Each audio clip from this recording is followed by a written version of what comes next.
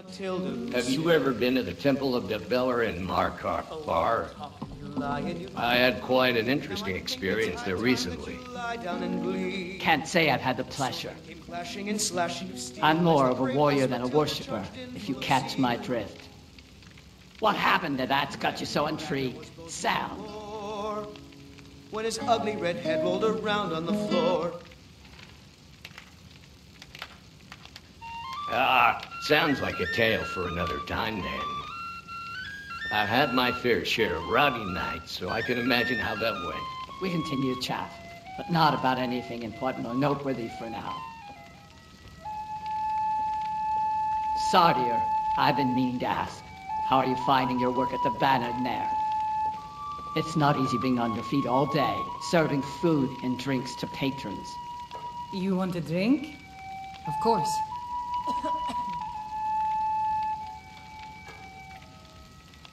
Thank you.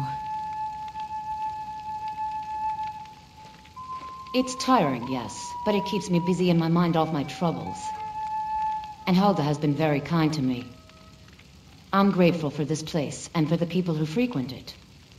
It's starting to feel like a second home. We continue to chat, but not about anything important or noteworthy for now. Irileth, my old friend. We've known each other for a long time. How do you feel our relationship has changed over the years? Especially since I became Jarl. Jarl Balgruuf, our bond has only grown stronger with time. When we first met as youths, we forged our friendship through the fires of war. Now, as your housecarl, my loyalty and dedication to your protection is unwavering. The added responsibilities of being a Jarl have only made me more determined to keep you safe from the many threats that surround us. I couldn't ask for a more devoted friend and protector, Irileth. With the current state of affairs in Skyrim, your presence is more valuable than ever. Speaking of which, what are your thoughts on the recent dragon attack at the Western Watchtower?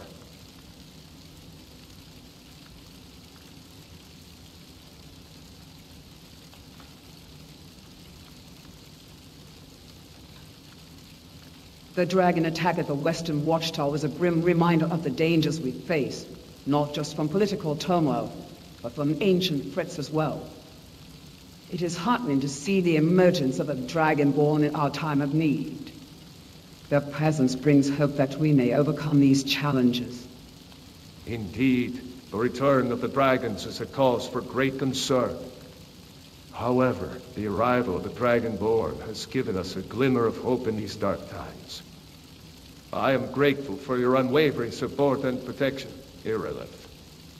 Together, we will weather any storm that comes our way. With that said, let us turn our attention to the matters at hand and prepare for the challenges ahead. We continue to chat, but not about anything important or noteworthy for now. Irileth, I can always count on you to be by my side, whether on the battlefield or in the halls of Dragon's Reach. I am grateful for your unwavering loyalty and friendship. We have been through much together, my friend.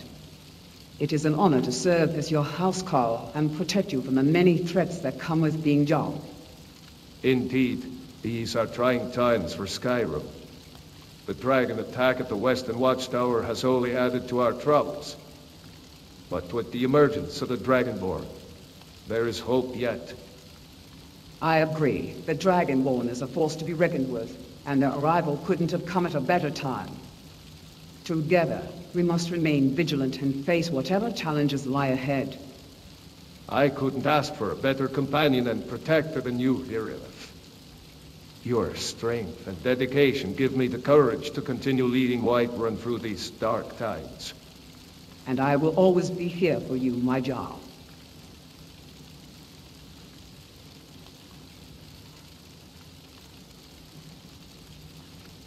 It seems the responsibilities and threats we face are only growing. The Swore, the Thalmor's meddling, the Dragon's returning. It is a lot for any Jarl to bear. Indeed, my friend.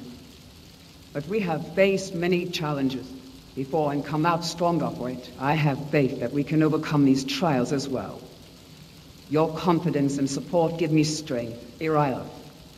Together, we will steer Whiterun through these troubled waters. Now, let us see what news Farengar has uncovered regarding the dragons. Perhaps this new Dragonborn can truly turn the tide. We continue to chart, but not about anything important or noteworthy for now. Commander Caius, I've been meaning to talk to you about the state of our city's defenses. With the Stormcloaks growing bolder by the day, we need to ensure Whiterun is prepared for any potential attack. Hrongar, I assure you that my men are doing everything in their power to keep Whiterun safe. We have increased patrols and fortified key positions throughout the city. That may be so, but I can't help but feel that we're not doing enough. The Jarl seems content to sit back and wait for the Empire to solve this problem, but I believe we should take a more proactive approach. While I understand your concerns, we must also consider the potential consequences of acting rashly. The Empire has the resources and manpower to deal with the Stormcloak threat. Our best course of action is to support their efforts and maintain order within our own city. You make a fair point, Commander Caius. I suppose I'm just eager to see this conflict resolved and our city protected.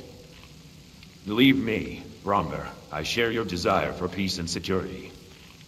But we must trust in the Empire's strategy and do our part to keep Whiterun safe until the Stormcloak threat is eliminated. Very well. I will place my faith in the Empire and the strength of our city's defenses. But mark my words, if the Stormcloaks dare to attack Whiterun, they will find a formidable foe in the sons and daughters of Skyrim. On that, we are in complete agreement, Hrongar. The people of Whiterun are strong and resilient, and we will stand together against any enemy that threatens our home. We continue to chat, but not about anything important or noteworthy for now. I've been thinking a lot about our earlier conversation with Commander Caius, Irileth. It's clear that we cannot rely solely on the Empire's support to protect Whiterun from the Stormcloak threat. We need to be proactive, fortifying our defenses, and preparing our people for any potential attack. You raise a valid point, Hrongar. While the Empire's support is crucial, we cannot afford to be complacent. As housecarl to Jarl Balgruuf, I take the protection of Whiterun and its people very seriously. We must work together to ensure that our city remains safe and secure, no matter what challenges we face. Indeed, Irileth, our strength lies in our unity and our shared commitment to the safety and well-being of Whiterun. By working together and remaining vigilant, we can overcome any obstacle that comes our way. Agreed, Hrongar. We must remain steadfast in our resolve and continue to support one another, just as we have always done. Together, we will weather any storm that threatens our beloved city. We continue to chat, but not about anything important or noteworthy for now. Have you heard about the recent dragon sightings near Whiterun? It has me quite worried. Aye. We've been on high alert since the reports came in. But don't you fret, Gerda. The guards of Whiterun are ready to defend the city and its people. I appreciate your bravery and dedication, guard. It's comforting to know that we have such capable protectors. It's our duty and honor to serve and protect the people of Whiterun. You just focus on your work at the palace, and leave the dragon troubles to us. We'll make sure no harm comes to the city or its inhabitants. We continue to chat, but not about anything important or noteworthy for now. Selves. You know, traveling across Skyrim has given me a lot of time to think about life and what really matters. Have you ever thought about what truly drives you, Valmilier? Until next time.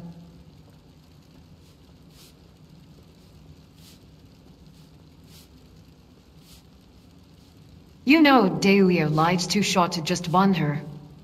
I say we make our own purpose. We've seen the hardships out there, and I reckon it's up to us to bring a little light where we can. Whether it's with a hammer in hand or a kind word, every bit counts. That's a beautiful way to see it, Valmilier. I guess that's why we're all here, part of this group, right? To make a difference where we can, even if it's just for a few. And maybe, along the way, we figure out our own paths too. Have you heard of the Thieves Guild in Riften? I've been thinking of joining them. Apparently, they have quite the network across Skyrim. What do you think about such groups? The Thieves Guild, hmm? They're a cunning bunch, no doubt. But there's a fine line between being cunning and being dishonorable. I prefer to keep my hands clean. But tell me, what draws you to them?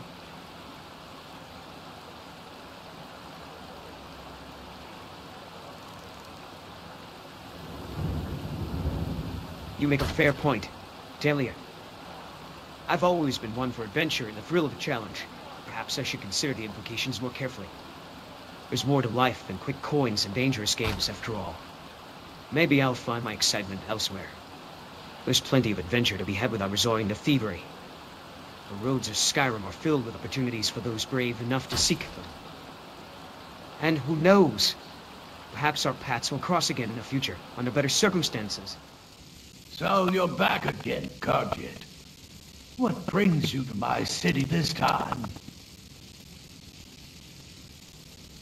Well, Olfrid, it seems our Khajiit friend here has had their fill of conversation for now. How about we move on to more pleasant topics today? I heard there's been talk of a festival coming up soon.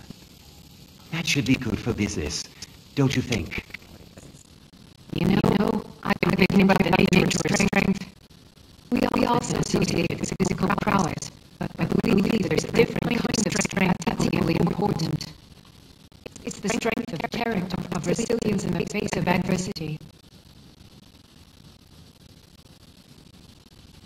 We sell bows, arrows, and ale. A unique combination, to be sure. I couldn't agree more, Valmilier. Strength of character is what truly defines us, not the physical strength we possess. It's about the choices we make, the values we uphold, and the way we face challenges. It's a good reminder for us all to strive for inner strength. I couldn't help but overhear your conversation about starting a new faction. It's an ambitious endeavor. What inspired you to take on such a challenge?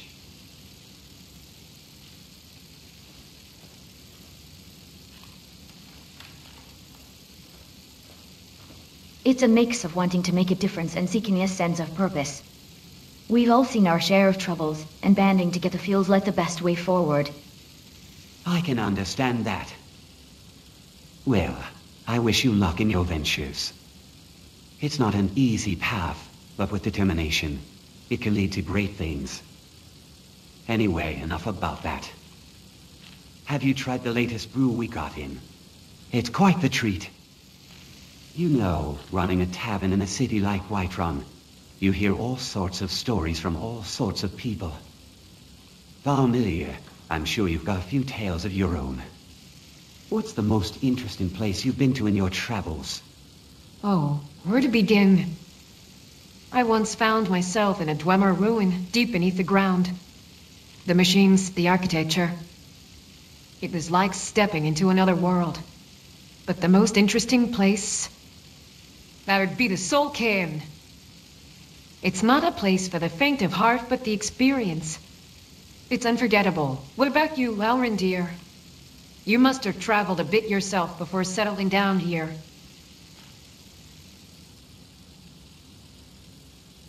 Hi. I've seen my share of Skyrim's corners.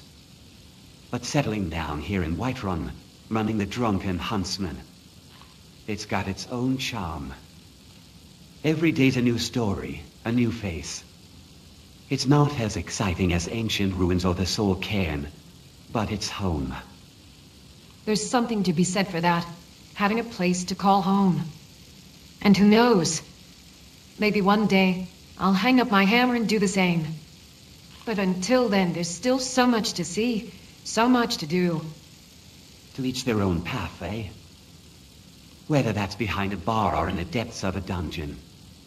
As long as there's meat at the end of the day, I reckon we're doing all right. I'll drink to that. We continue to chat, but not about anything important or noteworthy for now.